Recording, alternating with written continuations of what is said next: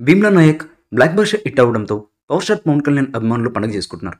ఇప్పుడు అభిమానుల దృష్టి అంతా ఇదే సంవత్సరంలో విడుదల కాబోతున్న హరిహర వీరమలపై ఉంది. అనుకున్న విధంగా ఈ మూవీ ఈ సంవత్సరం విడుదలైతే ఒకే సంవత్సరంలో రెండు సినిమాలను విడుదల చేసిన రికార్డ్ పవన్ సొంతమవుతుంది. ఈ మూవీపై పవన్ అభిమానులు అంచనాలు బాగా ఉన్నప్పటికీ అభిమానులంతా హరీష్ శంకర్ పవన్ కళ్యాణ్ గారి భవదీయుడు భగత్ సింగ్ గురించి ఇప్పటి నుండే కలలుగట్టున్నారు ఈ సంవత్సరం సమ్మర్ నుండి ప్రారంభం కాబోతున్న ఈ మూవీ వచ్చే ఏడాది ప్రథమార్థంలో విడుదలవుతుంది. పవర్ స్టార్ భావజాలానికి చాలా దగ్గరగా ఉండే పాత్ర ఇదని అంటున్నారు. ఈ మూవీలో డైలాగ్స్ తూటాల్లా పేల్తాయని హరీష్ శంకర్ ఇప్పటి నుంచే లీకులు ఇస్తున్నారు. ఈ మధ్య ఒక ప్రముఖ మీడియా సంస్థకు ఇచ్చిన ఇంటర్వ్యూలో ఈ సినిమా గురించి కొన్ని లీకులు ఇచ్చారు.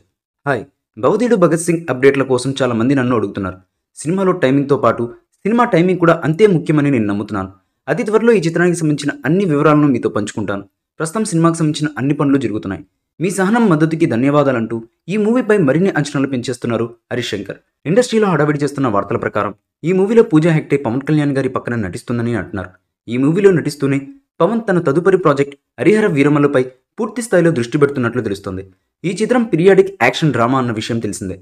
భారతదేశంలో ప్రవేశించిన బ్రిటిష్ వారి దోపిడీ నేపథ్యం కోహినూరు వజ్రం నెమలి సింహాసనం దొంగతనం నేపథ్యంలో ఈ మూవీ కథ ఉంటుంది. ఈ మూవీ కూడా అంచనాలకు అనుగుణంగా హిట్టాకు వస్తే పవన్ అభిమానుల ఆనందం ఆకాశానికి అంటుతుంది అనడంలో ఎటువంటి సందేహం లేదు. హరీష్ శంకర్ నెక్స్ట్ సినిమా పవన్ కళ్యాణ్ గారి భవదీయుడు భగత్ సింగ్.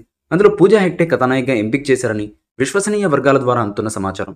రాధేశ్యం విడుదల కోసం ఎదురు చూస్తున్న పూజా హెగ్డే ఈ ఏడాది మొత్తం ఐదు సినిమాల్లో సందడి చేయడం విశేషం.